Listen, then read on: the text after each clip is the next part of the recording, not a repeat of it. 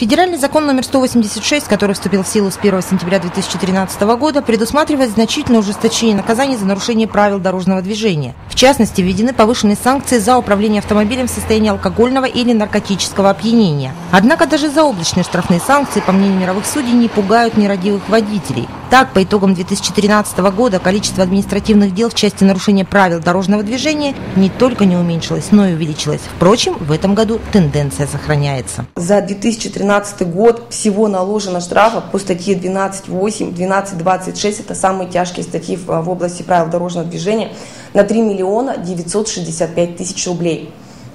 Цифра очень большая. И сразу же могу сказать, что э, уплачено добровольно только около 400 тысяч рублей. Ходить далеко не надо. Еженедельно по средам в Мировом суде Полевского рассматривают по несколько десятков административных дел в части нарушения правил дорожного движения. Сегодняшний день не стал исключением. И вот первый ответчик. Прежде чем начать судебное разбирательство, судья разъясняет нарушителю его права. Вы имеете право знакомиться со всеми материалами, делать, давать объяснения суду, представлять доказательства, заявлять ходатайство, отводы, пользоваться юридической помощью защитника.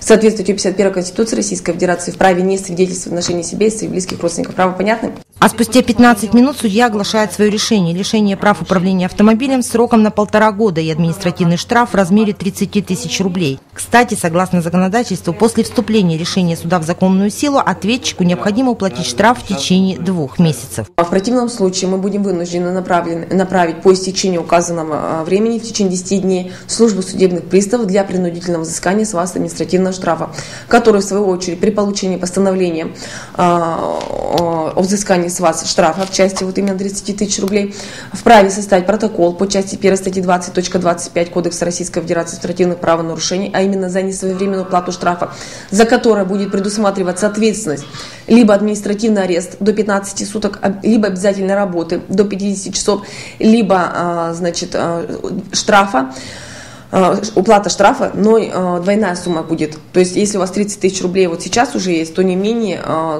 получается двойное, 60 тысяч рублей это вот, но это уже будет на усмотрение суда, какое наказание вам назначить. В ходе процесса судья обычно учитывает так называемые смягчающие обстоятельства. В этом случае, говорит Елена Агапова, к нарушителю могут быть применены менее жесткие санкции. Кстати, только штрафными санкциями и лишениями прав управления мировые судьи отнюдь не ограничиваются. В связи с нововведением в перечень наказаний теперь входят и обязательные работы. А, в принципе, мы стали применять такую меру наказания, как обязательно работы. У нас э, довольно-таки много таких уже постановлений о назначении наказания обязательно работы.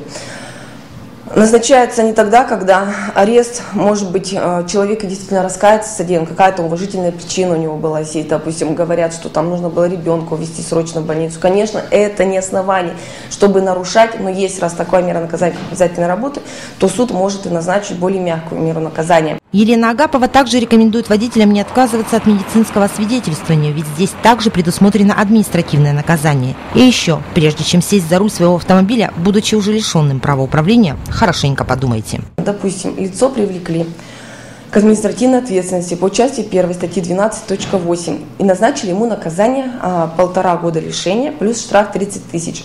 Постановление вступило в законную силу. Через 10 дней, допустим, через 20 дней когда уже вступил закон, он вновь садится в состоянии опьянения и управляет транспортным средством. На него будет составлен протокол уже по части 4 статьи 12.8 как повторное нарушение. И наказание там альтернативы не предусматривает 3 года плюс 50 тысяч штраф. Так, по итогам 2013 года административному аресту подверглись 139 водителей. Права управления автомобилем лишились 464 человека. И это не считая обязательных работ и штрафов. Татьяна Усынина, Александр Полищук. Новости нашего города.